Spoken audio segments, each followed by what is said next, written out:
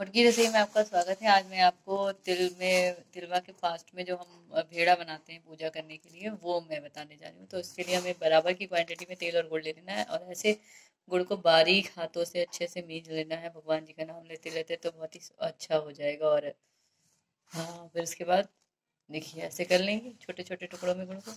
अब इसको हम सेप देना बताते हैं। तो सबसे पहले इसको पूरा इकट्ठा करके जैसे मिक्स कर लेंगे ना, गुड़ और तेल जैसे कहीं गुड़ ज़्यादा ना हो। अब इसको हमने लंबे में शेप में कर लिया, ये देखिए ऐसे। ठीक है? अब इसका हम सेप देंगे लंबा वाले कर लेंगे, फिर एक मतलब सर और पैर ऐसे करके। ये देखिए, ये हाथ का सेप दिया हमने बीच से ऊपर वाला, ऊपर का सिर का मतलब भाग हो जाएगा। ऊपर वाला, ये देखिए। जैसे वो बनता नहीं है खेतों में बैठ वैसे। फिर ये ऊपर का सेप हो गया हमारा, ये नीचे से पैरों के लिए डिवाइड कर देंगे। पहले लंबा देंगे देखेंगे आपने, फिर उसके बाद बीच से हाथ के लिए डिवाइड करेंगे पैर का, ऊपर ऐसे ही बन जाएगा। ये जो गुड़ के हिस्से निकल रहे हैं, उसको रख लेंगे, अभी हमें ऊपर आँख वगैरह मतलब फेस का जो फीचर देना होगा, आँख, मुँह, नाक, वो दे लेंगे। तो ये देखिए।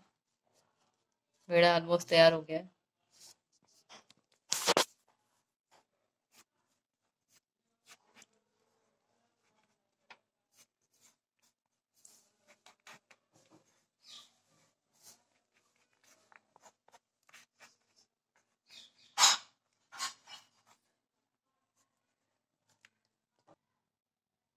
ये देखिए इसकी गोल गोल आँखें, आँखों का सेप दे देंगे, इसकी आँखें हो जाएँगी। एब्रो मतलब आँखें बना देंगे अच्छे से। नाक बना दिया बीच में स्माइली फेस बना देंगे।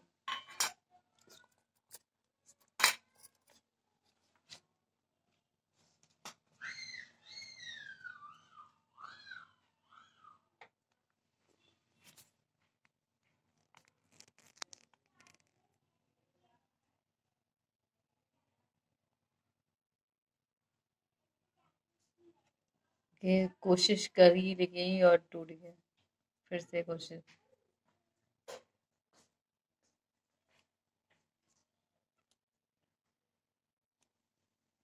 देख रहे हैं आप पिक्चर तैयार हो रहा है ऑलमोस्ट ऐसे ही मतलब जैसे गुड़ थोड़ा सा वाला होता है बन, अच्छे से बन जाए तो उसको जिस तरह अच्छे से सेम बन जाए। ये देखिए बन गया फेस का। स्माइली। कोशिश सफल हो गई तो ऐसे ही आँख मुँह दे दीजिए गोली गोली रख दीजिए आँख बन जाएगी। बड़ा थोड़ा गोला गुड़ उठा करके।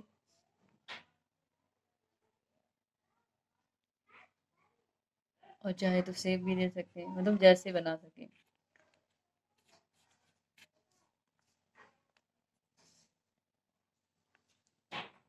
तो ये दोनों आँखें रख दी गई हैं। और फेस का फीचर भी हो गया, फेस भी तैयार हो गया है। बस। पूजा के लिए पेड़ा बन के तैयार है। बाकी जो किनारे किनारे तिल है, उसको उसी शेप में सेट कर लीजिए अपना। पेट में या जहाँ भी आपको कम आम लग रहा हो और प्लेट अपनी क्लीन कर लीजिए। ऐसे सेट करके। तो दोस्तों, कैसे लगे आपको मेरी हाँ ये आइडिया मतलब बनाने का? आपको देने का तरीका ये देखिए पेड़ा हमारा तैयार है। तो आपको कैसा लगा मेरा बताना और जो भी छोटी मोटी चीज़ें हैं तो इसी तरह मैं जानकारी देती रहूँगी आपको। आप अपने ज़्यादा से ज़्यादा प्यार देते रहिए सब्सक्राइब करते रहिए शेयर करते रहिए लाइक करते रहिए। Thanks for watching